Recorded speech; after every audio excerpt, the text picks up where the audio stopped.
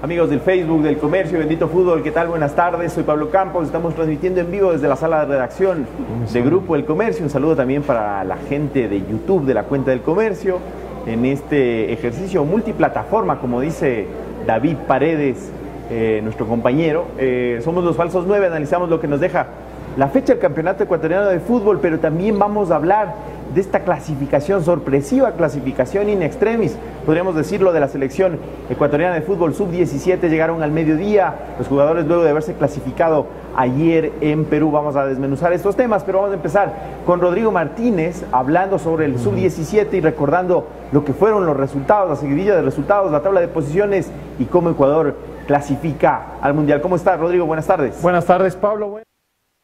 Una clasificación casi milagrosa, pero no por eso tampoco, vamos a dejar de destacar lo hecho por la tricolor, que llegó casi sin opciones a la última fecha y pues ahora tiene el último boleto mundial de, Brasil 2019. Bueno, pues los resultados fueron así. El Perú eh, ganó 3-2 a Uruguay, no le avanzó a Perú para clasificar por la victoria de la tricolor. Paraguay empató 0-0 con Chile, se clasificaron ambas selecciones y en el último partido, resultado más sorpresivo, Ecuador goleó 4-1 a la favorita Argentina. Argentina igual, pese a ser goleado, terminó ganando el título, pero el resultado sí le sirvió a Ecuador que terminó clasificando al Mundial. ¿Tabla de posiciones tenemos ahí también? Bueno, eh, revisemos un poco la tabla de posiciones. Argentina, como bien dije, terminó en primer lugar con 10 puntos. Chile en el segundo cupo con, también con 10 puntos. Paraguay con 6 menos 1. Ecuador con 5 menos 1. Perú con 5 menos 2. Se quedó un pasito Perú del Mundial. Y Uruguay con 4 menos 1. Correcto, gracias eh, Rodrigo Martínez. Rodrigo nos eh, va a estar proveyendo de información y también su análisis que es muy importante. Yo les presento a los panelistas de esta tarde, Alex Puruncajas, Alejandro Rivadeneira, a Rodrigo que ya, ya hizo su presentación. Señores, buenas tardes. Eh, por la hora, por cómo se dio, ¿les sorprendió la clasificación de, Ecuador? No sé, empezamos con, con Alejo, ¿sabes? bueno, es que el marcador es poco usual, ¿no? Un 4-1, Ecuador derrota, le mete cuatro goles a un equipo que no había recibido tantos en la, en la fase del hexagonal. Argentina ya estaba clasificado, eh, aspiraba al título. Eh, si Ecuador hubiera ganado 5-1, Chile era el campeón. Imagínense eso. Es un poco sorpresivo por cómo fue el hexagonal para Ecuador que hizo de menos a más. Eh, pero eh, había eh, la opción de triunfar por una gran diferencia de goles y Ecuador así lo hizo. Hay un poco de suerte también. Ese gol que el arquero quiere despegar, despejar y le pega al delantero ecuatoriano y se va adentro. bueno, también hay que tener un poco de suerte y una pena por Perú que se había ilusionado cuando ganan 3-2 a Uruguay uno miraba los posteos, Perú se metió en el Mundial, este es el golazo que le pone a Perú en el Mundial, y al final Ecuador le arrebató ese cupo. Y, ya vamos a hablar un poco de la reacción esta del periodismo peruano, sobre todo, ¿no? Generando mucha, mucha, mucha polémica. Vamos a saludar con Alex Puruncajas. Alex, eh, esta es la quinta clasificación de Ecuador a un Mundial Sub-17 el tercer mundial al que irá de la categoría Javier Rodríguez. Eh, podemos decir que la selección es especialista en estos torneos, que es una potencia regional, o hay que entender esto como parte de, del azar, digamos, de lo que pasó, de esta combinación de resultados. ¿Cómo lo ves tú? ¿Qué tal, Alex? Buenas tardes. Eh, ¿Qué tal, Pablo, amigos? Buenas tardes. Eh, hay que mencionar que esta selección tiene un trabajo de la sub-15, ¿no? Hay nueve jugadores de la sub-15, entonces hay un proceso, digamos que sí hay un proceso, no es algo improvisado en la en esta, en esta categoría. Entonces ha habido un trabajo, se ha armado un trabajo, se buscó como 300 jugadores de lo que contaba el comercio en sus notas. Entonces ha habido un trabajo sostenido. Esta selección no es fruto del azar, aunque en la, estuvo a punto de quedarse fuera. ¿no? Si empataba Uruguay, Ecuador no estaba en, el Mundial Sub-17. ¿Cómo lo ve Rodrigo Martínez? ¿Es eh, justa esta clasificación eh, por, por cómo se dio? ¿Te sorprendió a ti también? Eh, me parece que Ecuador hizo algunos partidos bien, que no, no, no, estuvo firme en la definición, pero pero hizo méritos, me parece, también para intentar llegar. Yo pienso que el mérito fue en el último partido, porque realmente la, tricolor tuvo partidos eh, muy buenos, como yo vi, como por ejemplo con Argentina o el empate como Perú, y partidos muy malos, como el partido que fue goleado por la selección uruguaya, que a la, no, logró el boleto ni la clasificación al Mundial, pese a ser uno de los favoritos en esta segunda ronda. Yo creo que es muy destacado, creo que hay que aplaudir la gestión del entrenador Javier Rodríguez, que logra nada menos que un cuarto Mundial con una selección, ya antes lo logró en otras dos ocasiones con una selección sub-17 y con una sub-20 en el anterior Mundial de Corea en el 2017 y creo que también se está respetando un proceso de que ciertamente sí se están haciendo cosas bien en las formativas. La última selección sub-17 que fue al Mundial, que en este caso fue en el 2015, eh, llegó hasta los cuartos de final y a la postre esa, esa selección también clasificó a un Mundial sub-20. Entonces creo que se están respetando los procesos, creo que están saliendo los jugadores y creo que hay que destacar la labor sobre todo de Johan Mina, que fue el máximo goleador, eh, le convirtió ayer dos tantos a Argentina, terminó siendo el mejor jugador del torneo, hay que decirlo que todavía todavía tampoco arregla su contrato con Emelec, pero que es un jugador que ciertamente le deja muy buenas sensaciones de futuro a las selecciones de Ecuador. Eh, te pido estar pendiente de, los mensajes y nos interrumpirás tú si es que ya si hay mensajes. Eh, veía, veíamos en imágenes al técnico Javier Rodríguez, yo quería preguntarle a Alejandro y a, a Alex. Eh, ¿Qué podemos decir del entrenador? ¿Cuánto de mérito tienen estas clasificaciones? Alex mencionaba también, Alejo, estos filtros continuos que se hicieron a, los jugadores. Me parece que estos chicos tienen la edad que dicen tener y eso ya es una base para el fútbol ecuatoriano. Bueno, sí, eh, bueno, el técnico Rodríguez tiene ya eh, más de una década trabajando en las menores, ha tenido muchos éxitos, le ha ido mal un par de veces, pero es normal que uno le vaya, le, vaya mal cuando está buscando mucho, ¿no? Entonces Alex recordaba que sí es un proceso en esta ocasión de 300 jugadores, además de los que ya venían de la sub-15 a la que le fue mal. En todo caso, eh, es, hay mucho mérito en el trabajo de este entrenador que sabe llegar al jugador, por ejemplo, le, saca lo mejor de sí y además de que también es verdad de que este equipo no llegó con algunas de las figuras, así como a la sub-20 eh, fue al sudamericano y quedó campeón con algunas figuras eh, lesionadas. Lo mismo le pasó a este equipo. Eh, es mucho mérito entonces que el proceso permitió tener jugadores de recambio justamente para afrontar este torneo y ganar el cupo al mundial. Alex, eh, te preguntaba la, misma inquietud que le, decía a Alejandro sobre, sobre el técnico Rodríguez y también el hecho de que Johan Mina termine como goleador del torneo sudamericano que lo mismo haya sucedido en el sub-20 con Leonardo Campana, en los dos casos clasificaciones, en el uno título y título de goleador.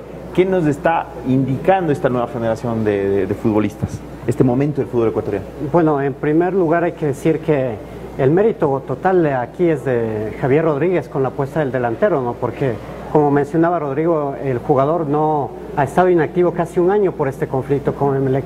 Y al tener inactividad eh, lo pone eh, en, un equipo eh, que ya estaba un poco armado, ¿no? Entonces ya lo conocía, es básicamente una apuesta de él, ¿no? Eh, del entrenador Javier Rodríguez. Me recuerda el Mundial de, de Paolo Rossi en, en, España el 82, ¿no? Cuando era un delantero que no tenía actividad, Pablo Rossi lo lleva al Mundial y termina como goleador. Entonces, para mí es una apuesta del entrenador, ¿no? En cuanto a lo de Campana, eh, también es otro mérito del entrenador, básicamente, porque eh, ustedes sabían que el titular ahí era Steven Plaza, estaba Yorcaer Reasco. Entonces me parece que es un mérito del entrenador, pero también hay como otras alternativas, ¿no? Como que están surgiendo jugadores. Saber, saber buscar. Vamos con Rodrigo Martínez, no sé si ya tenemos mensajes. claro, eh. alistamos, alistamos el la polémica del día, ¿no? Eh, bueno, Pablo, tenemos los primeros mensajes de gente que nos escribe a través de El Comercio. Bueno, Marco Vinicio Carrillo nos dice un hello, también le extendemos un grato saludo. Carlos Cando nos dice aquí estoy, bueno, aquí estamos tampoco, eh, también y le saludamos. Eh, Alejandro Ruiz nos, nos dice un dato un poco jocoso, no será de tomar un traguito, nos dice. Por favor. No sé qué opinen los compañeros. Juan Pablo Yepes nos tiene una buena pregunta, amigos. ¿Qué hubiese pasado si quedaban empatados en el gol diferencia? Franklin Suárez, un saludo a la tricolor. Viva mi equipo, puro esfuerzo, pura sangre fría. Viva mi selección. Y Jimena Silva González también saluda a la selección. Amo mi selección en las buenas y en las malas. Siempre con ustedes. Éxitos y bendiciones. Drenor envía un saludo al programa. Igual extendemos un, eh, un saludo. Saludos desde Catacocha, Loja.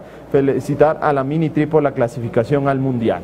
¿Y qué hubiera pasado? Eh, ¿Cómo era la pregunta? se, dirimía si quedaban empatados por las tarjetas amarillas, el fair play. Sí, y ahí Ecuador Ecuador tenía todas las de ganar, que además Ecuador gana el trofeo del fair play de la competición. Entonces, un mérito más para... Que eso, también, que eso también es importante, Rodrigo, Alejo, Alex, eh, la, cuestión disciplinaria, eh, la educación en valores, el hecho de es, no Es una cuestión muy, muy, muy importante. Recordemos eh, lo que le pasa a Senegal en el Mundial, ¿no?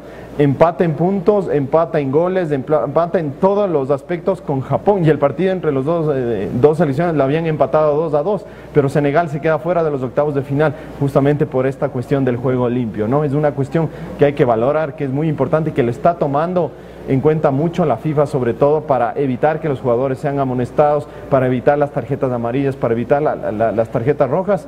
Y bueno, ahora Ecuador salió premiado porque no solo ganó la clasificación, aunque hizo un gol más, pero también se llevó el, premio del torneo al juego limpio. ¿no? Y hablando de juego limpio, ahora vamos a hablar de antijuego limpio. Rodrigo Martínez nos presenta la polémica del día. Bueno, la, polémica del día nos llega desde, desde Perú, exactamente desde Fox Sports Radio, en el mismo momento de que se terminaba el partido de Ecuador y Argentina, eh, el comentarista del programa de Fox Sports Radio, escuchamos un poco las declaraciones. de juveniles a la última fecha argentina en la eliminatoria para Rusia. Es inevitable que piense que aquí se está devolviendo una deuda, que aquí se está pagando una deuda es inevitable que lo piense. No tengo pruebas, no puedo acusar a nadie, no puedo disparar contra nadie. Es libre, cualquiera es libre pero que, tengo derecho a sospecharlo, yo creo que no soy el único. Yo creo que no soy el único que tiene derecho a sospechar que un equipo que venía galopando en el hexagonal cae 4 a 1 y le hacen tres goles en 8 minutos, no esté pagando una deuda que tiene pendiente desde Rusia. Difícil acusar a alguien, difícil sostenerlo pero con sí alguna puede, prueba. Pero sí se puede pensar. Pero uno tiene derecho a sospecharlo y a, olfatear que hay algo raro. ese partido va a dar mucho, y después lo que hablas, va a dar mucho que especular. Va a prestarse para muchas especulaciones. Es una cuestión que inevitablemente me huele mal. Y te entiendo porque yo estaba mirando el partido con Ala y conversávamos y mirábamos Ecuador y no tenía la mínima posibilidad contra Argentina. Argentina había llegado sobre Argentina cómoda, sin de goles, pelota en el palo y de repente, ahora, eh, perdón, puede pasar lo que, lo que le he comentado. Argentina hace un gol y dice, ya está. Afloja. Ahí obliga a Ecuador a Ecuador pierde miedo, comienza a atacar, comienza a encontrar los goles y chao. Por eso, yo no estoy asegurando nada, pero tengo derecho a decir... Bueno, parte de las declaraciones de, de un eh, periodista peruano que ha desatado toda una polémica, básicamente como ustedes eh, lo habían escuchado, eh, insinúa que esto era como un pago de favores por la permisividad, digamos, de Ecuador al, dejarse ganar, según él, según su lógica, en las últimas eliminatorias y clasificar al Mundial. Yo quiero la opinión de los panelistas, eh, no sé con quién. Alejandro, ¿qué te pareció? Bueno, y todo lo que ha generado, ¿no? Toda esta, bueno, yo creo que eso es una de este periodista, no tiene por qué decirlo así, no hay pago de deudas de ninguna manera, eh, son torneos diferentes, son ámbitos diferentes, eh, es, imposible que realmente uno pueda planificar que algo así vaya a pasar. Eso es una frase que se dice en caliente, con un micrófono abierto, aún inadaptado. Pero es peligroso, ¿no? Es peligroso, claro. Es peligroso sobre todo con juveniles. Sobre todo con una cadena importante, porque si lo dijera en una radio en la cual solo escucha a su madre, bueno, pero es una cadena importante internacional. Entonces, por eso es una mamarrachada en realidad. Me parece de mal gusto. ¿Y hubo reacciones, eh, Alex, Rodrigo? Sí, yo, yo, yo, pienso que es un chamullero directamente el, eh, este este periodista Fleischmann, o sea, esto de lanzar una piedra y luego esconder la mano, decirlo sin pruebas, llenándose de acusaciones, con la cabeza en, caliente, eh, le deja muy mal parado al fútbol y, peor, o sea, también teniendo en cuenta de que en Perú también se hablaba de un posible arreglo en el famoso partido de eliminatorias entre Colombia y Perú, en la última eliminatoria al Mundial del de, Rusia 2018. Entonces esto no le hace bien al fútbol ecuatoriano. Yo creo que Ecuador clasificó con justicia al Mundial. Perú hizo también un buen partido con Uruguay, le remontó el marcador al, equipo Charrúas, pero no le avanzó y lastimosamente no es suficiente. Perú era el anfitrión, no pudo de local y no pudo clasificarse. Eso no es un motivo para decir semejantes barbaridades como para mí lo que dijo este señor Fleischmann. Y cómo lo vio nuestro invitado de hoy, nuestro invitado especial Alex Puruncajas, ¿qué, qué, reflexión podemos hacer desde, desde estas tribunas que se abren de, eh, para generar polémica, para, para incendiar las redes, eh, muchas veces con discursos bien irresponsables? Bueno, eh, hay que recordar que Ecuador ya le ha ganado a Argentina en torneos juveniles, entonces desde ahí ya parte, ese argumento es realmente flojo. Ecuador ha estado en los últimos, en cinco, ¿no? En cinco mundiales sub-17, viene de clasificar en el Mundial sub-20 y Argentina atraviesa una de las peores crisis futbolísticas de su historia, ¿no? Tanto en la mayor como en las juveniles. Entonces, desde ahí el argumento es flojo. Ahora, lo que tú preguntas, un poco para crear la polémica, ¿no? Habría que preguntarle si es un poco para traer más rating, para generar más atención, pero eh, por lo menos para lanzar algo así necesitas un argumento y no le veo ningún argumento por donde eso tenga un asidero eh, al respecto. De acuerdo, rechazo total de, todos los panelistas y yo creo que, eh, como decía Rodrigo Martínez hoy, incluso este periodista ha dado un poco de reversa en esas declaraciones. Hay que recordar que el técnico de Argentina es Pablo Aymar, un, eh, un, entrenador y un gran jugador que habla inculca mucho la cuestión de los valores, del respeto, de estar eh, valorando lo que se hace y valorando el juego como tal. Así es que Pablito Aymar no va a caer en estas en, estas, eh, en estos eventos, en estas cuestiones torcidas. Vamos con más mensajes, eh, nos tiene preparado Rodrigo Martín. Bueno, leemos más mensajes recordando también que Pablito Aymar es el ídolo de Lionel Messi, es el jugador favorito de Messi cuando era niño, entonces también mucho, mucho que, contar ahí. Bueno, leemos algunos mensajes, saludamos a toda la gente que nos escribe, sobre todo ecuatorianos en el exterior. Byron Paz dice, se vivió en directo el partido desde México, muy emocionante. Carlos Alarcón nos saluda desde Nueva York. Eh, William Jiménez también nos saluda desde España. Darío Santamaría se añade los saludos desde España. Eh, José Manuel Naranjo dice felicitaciones a la TRI. Darío Santamaría eh, vuelve a emitir otro comentario y dice Ecuador está creciendo a nivel futbolístico. Ojalá así sea en la Copa América.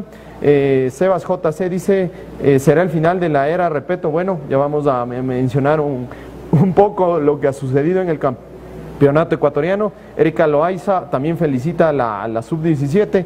Byron Paz, sigo esperando la columna del guapo de la barra. Bueno, aquí presente Alejandro Rivadeneira. Eh, y Alex Zurita también dice que hablan los peruanos, no Falcao de Colombia amarró el partido con Perú dejando fuera a Chile.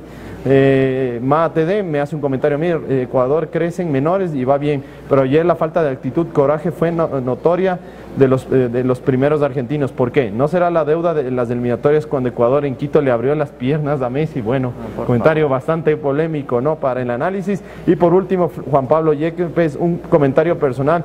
No hay que desmerecer a ningún medio social de, ningún país. Creo yo que Ecuador gana bien y el que queda mal es de esa persona, amigos. Bueno, válido, válido también. Eh, lo que sí noto en los mensajes que acaba de leer Rodrigo Martínez es que la gente se ha quedado contenta. Estas clasificaciones también lo que hacen es poco motivar, ¿no? Bueno, es que no, no, es para menos, ¿no? Por supuesto. Eh, clasificar a dos mundiales en un mismo año no es coincidencia. Tener al campeón de goleo en los dos, torneos, no es coincidencia. Que un entrenador vaya a tantos mundiales seguidos. Un, un técnico ecuatoriano ha clasificado a tantos mundiales, tampoco es coincidencia. El primer título oficial para un eh, claro el primer título oficial con, eh, con, una generación que, que, que, viene pidiendo espacio no es coincidencia, quizás lo que hay que reflexionar un poco es qué vamos a hacer con todos estos grandes jugadores. Quizás no debamos contratar tantos extranjeros, tantos refuerzos muy caros que además no rinden en la cancha, están comiendo banca. Mejor demos espacio a los jugadores ecuatorianos en sus clubes. Em, se me ocurre a mí, por ejemplo, promoverlos de, de mejor manera en el exterior con agentes realmente competentes que, vean no solo por su futuro económico, sino también por sus valores y por su situación eh, personal. ¿Qué vamos a hacer con esto? Sería una pena que toda esta gran camada de jugadores se pierda por la falta de juicio. Exactamente, exactamente es eh, la federación la encargada de saber conducir bien a esos jugadores y sus clubes de origen, eh, como bien lo decía Alejandro. Pasemos a otro tema, hablemos del Campeonato Ecuatoriano de Fútbol. En las últimas horas, creo que está por confirmarse, el técnico Fabián Bustos pasaría, lo digo en potencial, eh, porque hay negociaciones, eh, todavía hasta, hasta el momento nada concreto, pasaría a dirigir eh, a Barcelona, él es el entrenador del Delfín, Delfín que ganó 4-0 el sábado, contundente en el primer tiempo, ya tenía listo el resultado. yo les pregunto a los panelistas, empecemos por Alex Puruncajas, de hecho, Delfín juega con Barcelona. ¿Está bien que un entrenador cambie de equipo en una misma temporada? ¿Estamos atentando al derecho al trabajo al criticarlo o es una situación cuestionable este cambio? ¿Cómo lo ves tú? Bueno, hay que analizar el contexto, ¿no? Porque no es lo mismo, por ejemplo, lo que ocurrió con Francisco Silva, el jugador, aunque es un jugador, no, pero Sí. eh, les pongo este ejemplo. Eh, Emelec estaba a punto de disputar eh, La final una final ¿no? con Delfín y Francisco Silva estaba negociando con Emelec. Entonces ahí no hay ni, eh, hay una situación un tanto ética, ¿no? Que había un contexto en el que eh, se jugaba un título deportivo. En este caso, eh, Barcelona y Delfín eh, se van a enfrentar eh, este fin de semana, pero no van a dirimir definen nada. nada, ¿no? dices tú. No, no van a dirimir nada. O- obviamente eh, nace en esta coyuntura, pero me parece que aquí eh, Barcelona ha buscado básicamente a un entrenador que conozca el medio, un entrenador co- eh, que no, va, no cuesta tanto si lo traía uno extranjero y que sobre todo está a la mano, ¿no? Sí. Entonces por ahí yo le veo que no es eh, tan cuestionable el tema de eh, Fabián el Toro Bustos que se vincule a Barcelona. ¿Es, es, es el toro el técnico que necesita Barcelona? Bueno, en realidad a- al Toro no le ha ido bien fuera de Manta. Sí, No le, ha ido- le fue mal con el Deportivo Quito, me parece. sí. Fue horrible con el Deportivo Quito en realidad. Y no sé si le vaya La Libertadores a bien 2011, con el ¿no? Barcelona. El problema, en realidad, yo creo que es muy incómodo, porque Delfín es aspirante al título. Sí. Suena extraño decir que hay aspirancia al título ya ahora, pero Delfín aspira al título, aspira por lo menos a estar entre los ocho. Y Barcelona debe hacer una gran remontada para eh, estar en esa zona de clasificación. Me parece incómodo que justamente eh, uno de los técnicos de los ocho primeros o de los cinco primeros sea tentado por Barcelona. No me parece bien. Yo me abstendría de negociar, pero lo permiten las reglas. Como Claro. lo permiten las reglas, eh, es legítimo. Pero me ¿No es parece- políticamente correcto para pero ti? es horriblemente, es horriblemente eh, malo el momento para negociar, porque ya está avanzado el torneo, porque Barcelona necesita empezar a, a- a remontar y una manera es desestabilizar al rival y Delfín es uno de los rivales a, a tumbar en ese, en ese camino. Rodrigo Martínez, no, por ahí estaba, no estaba suelto porque trabaja en la misma provincia, eh, Rubén Darío Insúa. ¿No era mejor apelar a un histórico como, como Insúa?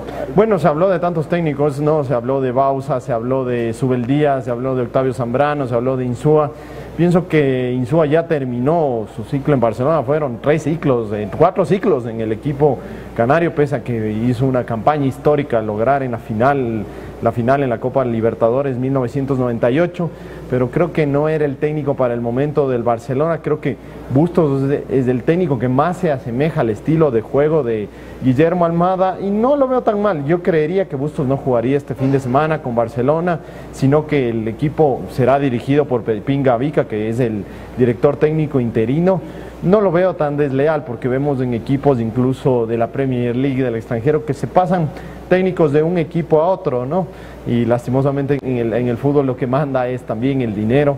Y creo que Bustos sería, por el momento de ahora, el técnico ideal para Barcelona. Ahora sí, no sé si le avance el equipo, porque pienso que Barcelona tiene muchos fallos, sobre todo en, en su zona de volantes, sin el, sin el, el- Veamos cómo le puede ir cuando ya regrese el argentino y sea oficialmente entrenador Bustos. Ahora, ¿qué, qué le puede aportar eh, a, cualquiera, a cualquiera de ustedes? Les pregunto, ¿qué le puede aportar Bustos como entrenador a Barcelona?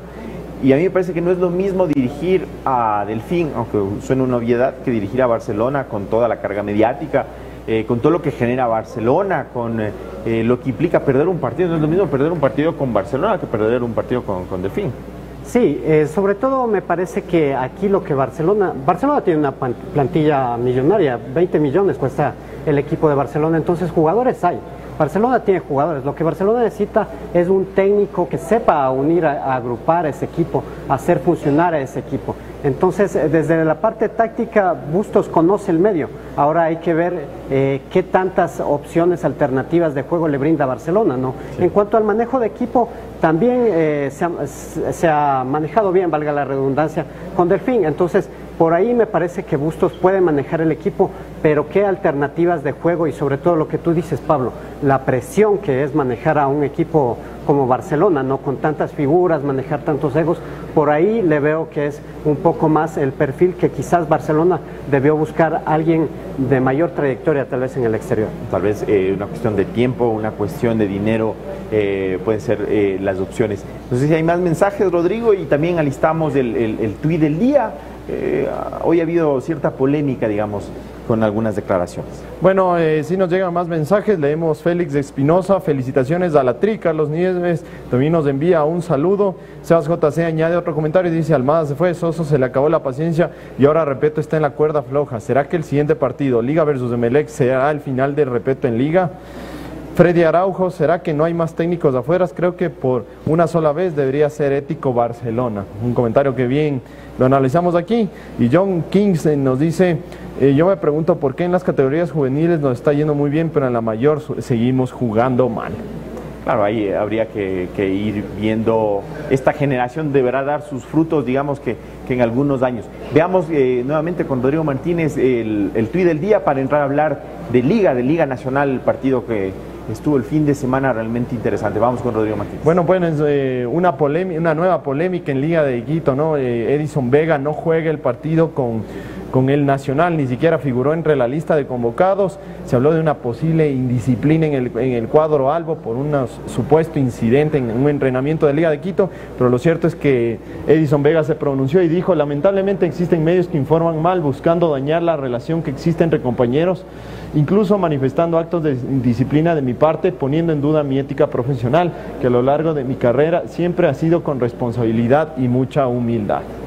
Correcto. Eh, a ver, ¿cuál, era la versión? La versión indica, o una de las versiones indica que es, es muy chistosa la versión porque dice que, que Vega se dio de puñetes con Aguirre y con Aníbal Chalá gente que le supera en peso, en, porte, incluso. Llama la atención que no haya estado en la lista de convocados, como bien dice Rodrigo Martínez, pero no sé qué, qué, opinión les deja este, este tuit de Vega. Y ya empiezan a, aparecer estas, estos rumores, estas situaciones de, de, mala relación en liga, justo en el momento en que liga está jugando tan mal. Bueno, suele pasar que cuando los equipos se empiezan a descomponer, abundan los chismes.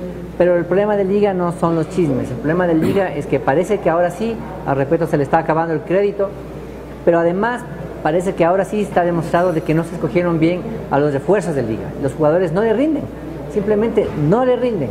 Y esto le va a costar caro a, Liga. Liga no está en zona de clasificación. A Liga no está de favorita para entrar a, eh, a la Copa Libertadores. Pero no hay tiempo, digo yo creo, yo creo que hay tiempo, pero cada vez, creo que llevamos unos buenos programas diciendo, hay tiempo, hay tiempo. Yo creo que ya vamos con el torneo bastante avanzado, ya son nueve partidos, y Liga no ha jugado bien ninguno. No ha jugado bien ningún, ningún partido en el año, excepto el que le gana a Peñarol en la Copa Libertadores. Y el de Guayaquil City, que es el último partido Pero digamos que Guayaquil, Guayaquil City lo planteó tan mal que ese era imposible no ganar. Pero le mostró contundencia. Le, mostró a un equipo que, claro, pero es como Brasil con Andorra en esa ocasión, ¿no? O sea, Liga estaba completo, eh, Guayaquil City no tanto. Eh, yo creo que, repito, ya se le está acabando el crédito, tiene realmente que hacer un esfuerzo para rescatar el equipo. El equipo no le funciona, no le camina. Nacional, Nacional hemos venido diciendo que ha jugado muy mal todo el año. Nacional con poco le complicó a Liga. Nacional no fue El mejor partido del Nacional. Es el mejor partido, yo también creo que es el mejor partido del Nacional, pero con poco de todos modos. De todos modos, le llegó más a Liga. El Liga eh, se, se, esmeraba, le costaba muchísimo llevar la pelota al arco rival. En cambio, el Nacional en dos pases ya estaba en el arco del Liga. Entonces yo creo que Liga sí tiene un gran problema, que se llama los jugadores. ¿Cómo, lo ve Alex? Eh, a ver, Alejandro ataca la cuestión de la conformación del equipo. El año pasado, repito, le dejaron armar el equipo, pero esa vez le funcionaron los, los, refuerzos. Ahora eh, tiene más carta libre por ser campeón, trae a ocho refuerzos, más a su imagen y semejanza, excepto Chicaiza, pero no le están funcionando los, los refuerzos. ¿Qué pasa con Liga? La clásica pregunta, ¿qué pasa con Liga? ¿Cómo lo ves tú? Bueno, es un mes perdido prácticamente para Liga, un mes y medio perdido, ¿no? Con, la, con los ocho partidos sin ganar. Eh, a mí me parece, em, a diferencia de lo que dice Alejandro, más bien un problema de alternativas en el juego del equipo, ¿no? Eh, repito, todos conocen el esquema de juego de repeto y el año pasado el esquema de repeto era totalmente reconocible. Tú repetías la alineación de memoria, salvo los zagueros que se le lesionaron en el segundo semestre, pero aún así lo repetías de memoria. Este año no, no sabes cuál es la alineación titular. El domingo salió con dos delanteros en punta, cuando por lo general jugaba un solo delantero, rodeado por eh, dos extremos y un media punta como Johan Julio o Chicaiza en ocasiones. ¿no? Esta vez, eh, repito, no logra armar un esquema definido. No se sabe eh, la alineación con la que va a salir Liga. Eh, también hay este problema de, los jugadores que van a la banca, los que no. Por ejemplo, se quedó Edison Vega en la banca de suplentes, eh, ni siquiera entró a la banca de suplentes, ¿no? Entonces, Pero Vega tampoco es que te iba a solucionar nada, ¿no? O sea, pero es un fijo en las alineaciones, de repito, ¿no? Son ocho partidos en la temporada que ha jugado Vega, tres de los cuales en la Copa Libertadores es el capitán del equipo Albo.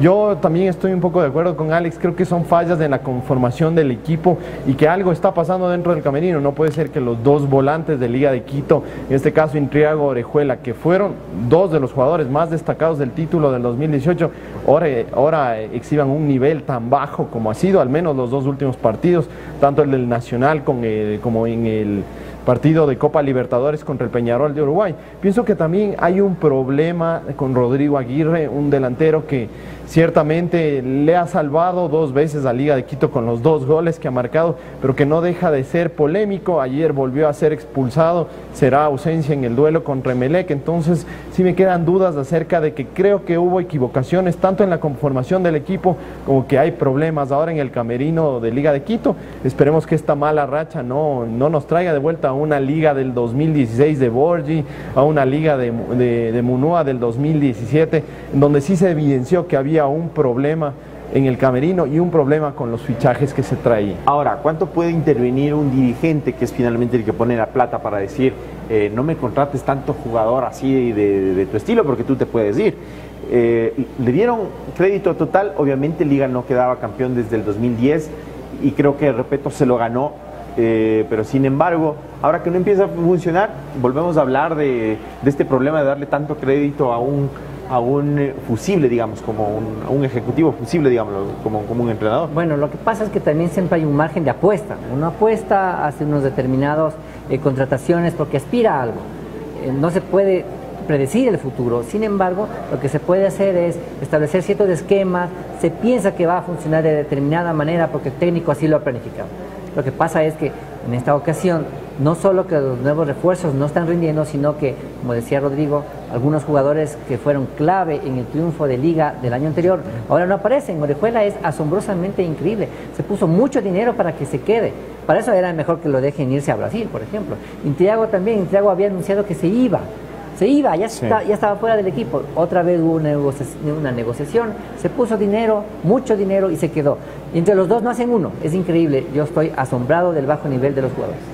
Pero jugadores, hay que decirlo, que el año pasado eh, brillaban, que fueron los más destacados, y de hecho los tres han estado en, selección nacional, es una cuestión de momentos. Claro, eso, se dice, no hay malos jugadores, hay malos momentos de los jugadores. pero, coinciden muchos, coinciden muchos malos momentos. Claro, es quizás Chicaiza, el jugador que más fallaba en Liga de Quito, del que más esperaba, y bueno, ayer tuvo una eh, actuación destacada porque arma la jugada del, segundo gol de Liga de Quito, el gol anotado por Muñoz. Entonces también hay que estar de acuerdo que eh, son de momentos, o sea, yo creo que Chicaiza ahora por, el momento no debe ser titular, pero poco a poco estas actuaciones lo hacen ganarse un poco los puestos, sobre todo en una liga tan irregular, ¿no? Y a la que le restan dos partidos en la Libertadores que está obligado a ganar porque si no se queda fuera del torneo no le sirven más resultados. Eso, e, eso está, está como complicado. ¿Querías acotar algo, Alex? Mm, parece que hay un agotamiento deportivo y mental, ¿no? También. Eh, Pero cuando, fechas ya. Cuando intentas en ganar, ganar y no te sale y no te sale y te ofuscas, te ofuscas.